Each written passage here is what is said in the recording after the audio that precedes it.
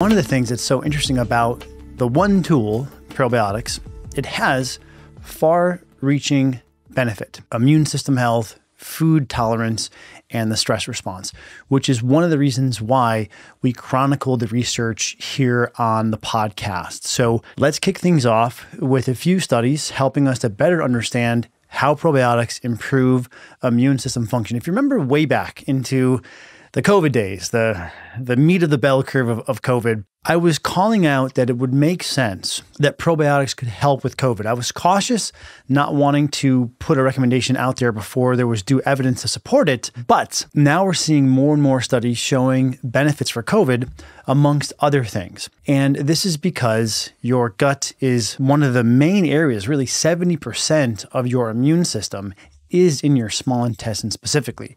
So, with that in mind, let's look at a 2023 randomized control trial 30 patients with weak immune systems due to HIV.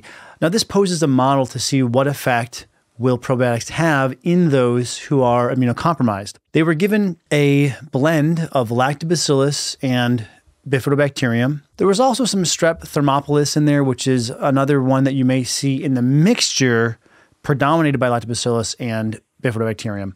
Dose 20 billion per day. And what they found, compared to the placebo, was that probiotics increased levels of white blood cells. Now, this should make sense if you bear in mind white blood cells, the, the main soldier of your immune system, not the only one, but certainly uh, a crucially important factor in immune function of your white blood cells. They're made by your bone marrow and by your lymphatic tissue. Connect that to the fact that we have this whole area known as your gut associated lymphatic tissue or your GALT. There's a tremendous amount of lymph tissue in the gut. So, one of the primary areas where we produce white blood cells is the gut. And therefore, it would make sense that an intervention like probiotics, which helps the gut function better, would lead to an improvement in white blood cells. Now, what's going on underneath the surface here? We can speculate, and I feel this to be somewhat reasonable speculation. We know that many biological systems require hormetic stressors, meaning your bones without the stress of gravity will become brittle. Your muscles without strength training or some sort of resistance will become atrophied.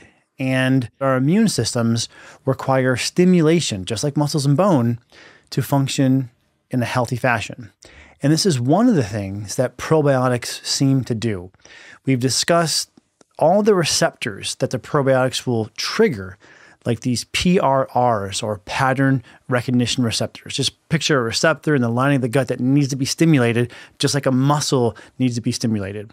And these toll like receptors, most chiefly toll like receptor 4, which regulates leaky gut. That receptor needs to be stimulated just like bone needs to have pressure put upon it or it becomes osteopenic or osteoporotic. Shouldn't be surprising here to see that in immunocompromised individuals, sadly with HIV, that the use of probiotics led to a measurable increase in their white blood cell count. By the way, if this has been helpful, please comment and subscribe.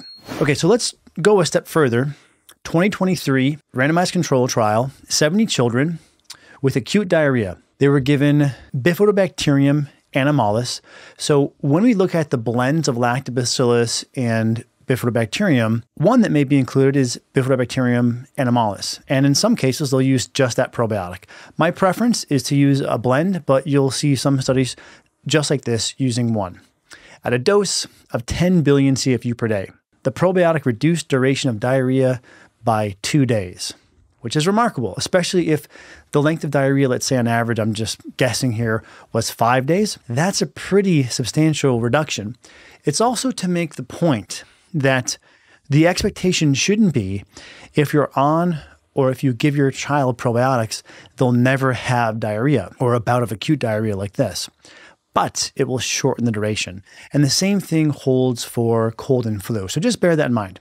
And one other study here in a similar vein 2023 randomized control trial 182 healthy subjects.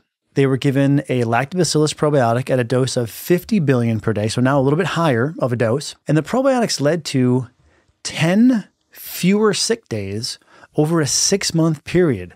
Again, I would consider this highly substantial. We discussed the improvement in white blood cell production. That in of itself is going to be helpful.